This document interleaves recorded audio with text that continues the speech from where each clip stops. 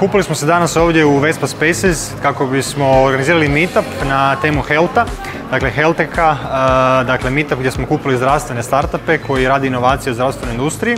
Meetup je pod nazivom Startup Report i Team Up Health što znači da osim magazina Startup Report koji ćemo predstaviti, također ćemo četiri tima koja razvijaju zdravstvene inovacije i koji traže nove članove za svoje timove. Upravo to je format tima događanja koja Lean Startup Hrvatska organizira već nekoliko godina i evo zadovoljstvo mi je da na taj način možemo doprinijeti razvoju hrvatskog startup ekosustava i pomoći startupima da pronađu svoje suradnike, co-foundere i nove zaposlenike.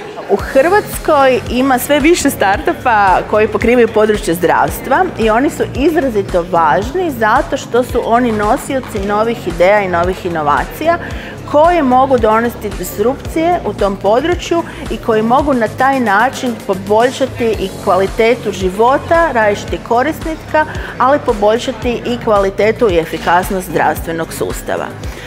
Mi smo u Hrvatskoj djelujemo kao Aid Health Hub, što je znači dio jedne zajednice hubova na europskoj razini koje podržava Aid Health i kao Aid Health Hub E, nosimo različite programe koji pomažu razvoju inovacija, ali isto tako koji pomažu razvoju startupa.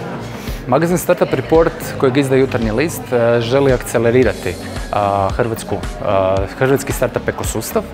Nama je cilj podržati njegov razvoj, a prvi meetup napravili smo sa, sa Lean Startup Hrvatska kako bismo zapravo pokazali da postoje fenomenalne inovacije u zdravstvu u Hrvatskoj. Medox je digitalna mobilna aplikacija koja omogućuje svakom pojedincu da spremi svoje zdravstvene nalaze na jedno mjesto. Na taj način omogućujemo pojedincu da ovlada svojim zdravstvenim podacima, da ih dijeli, da pretražuje i da ih uvijek ima na jednom mjestu. Svi znamo koliko su zdravstveni nalazi često izgubljeni, teško do njih doći i e, puno vremena traje da ih skupimo. Na ovaj način pojedinac uvijek ima sve nalaze koje može podijeliti sa zdravstvenim e, sa svojim obiteljima, prijateljima, s kim god smatra da je to potrebno.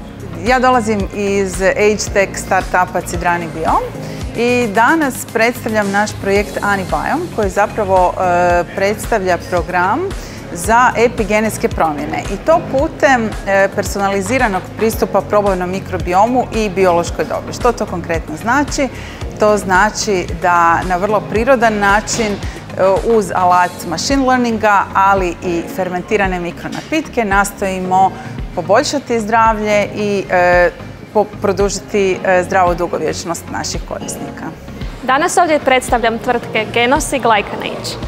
Glycanage je test biološke dobi. Dakle, svi starimo, ne stare svi pojedinci jednakom brzinom. Tako da Glycanage omogućuje da na vrijeme provjerimo kroničnu upalu, a samim time i biološko starenje svoga organizma, a, to možemo vidjeti i do 10 godina prije pojave prvih nekakvih bolesti da se pojavljuje starenje ubrzano. Naš proizvod je Glycanage, test biološke dobi koji na vrlo pristupačan i jednostavan način zapravo omogućuje osobama da mjere svoju biološku dobu.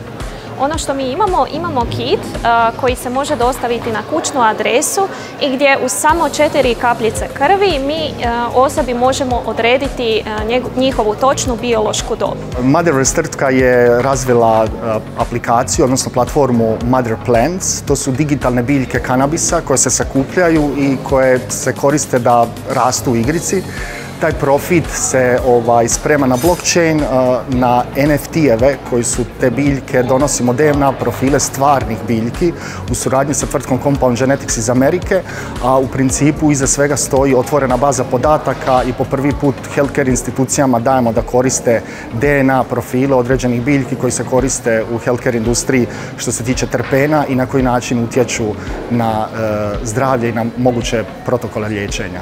Predstavljamo edukacijsku platformu Corona Dentis koja omogućuje stomatolozima novo, pristupačno i modernu edukaciju, a koja se bazira na online platformi koja bi bila otvorena i za šerenje sadržaja i za e, gledanje tog sadržaja. Meg je digitalna virtualna asistentica koja je razvijena unutar klinike Magdalena i zapravo je produkt 25 godina našeg znanja u praćenju, e, praćenju kardioloških pacijenata na daljinu.